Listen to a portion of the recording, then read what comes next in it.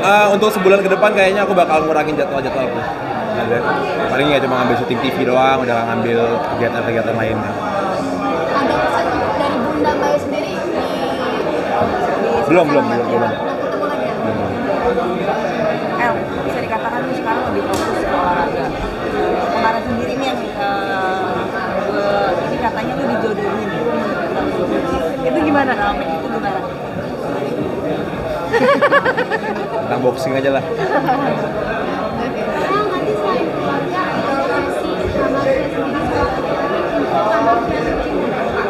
Jangan tanya saya. Teman spesial mungkin eh. Saya nggak ada teman spesial. Artinya sekarang lagi masih jomblo nih. Masih. Lagi menikmati kejombloannya. Iya, saya jomblo aja bahagia.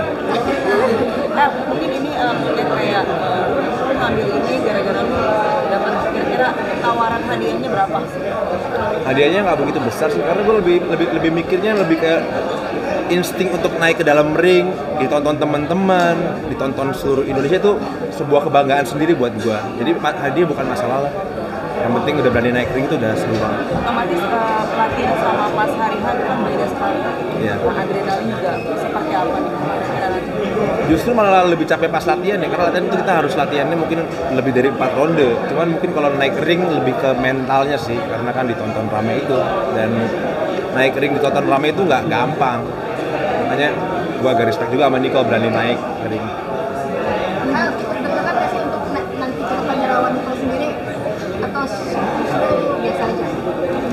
Hmm, ya untuk menghilangi deg-degannya ya dengan persiapan yang matang ya. Tentunya kalau udah persiapan yang matang, deg-degannya pasti hilang. Ya paling nanti deg-degannya pas naik ring doang. Yang Semoga aja sih KO ya. Eh, at least keluar darah lah dari mukanya. At least, at least, at least. Kan dia kemarin keluar darah dari hidung. Ya ini nggak tahu dari mana. Dan eh, akan lawan udah sparring sama siapa El? Untuk mungkin yang setara lah. Ya kemarin sempat nyari-nyari yang tingginya se- seukuran Nicole ya, kan dia agak nggak terlalu nggak lebih tinggi daripada gue, jadi harus latihan juga dari sekarang uh, untuk lawan orang-orang yang tingginya se Nicole. Jadi tahu untuk jaga reach-nya, jaga jaraknya itu juga harus dibiasain. Jadi sudah dapat yang Udah banyak temen sparring di sana.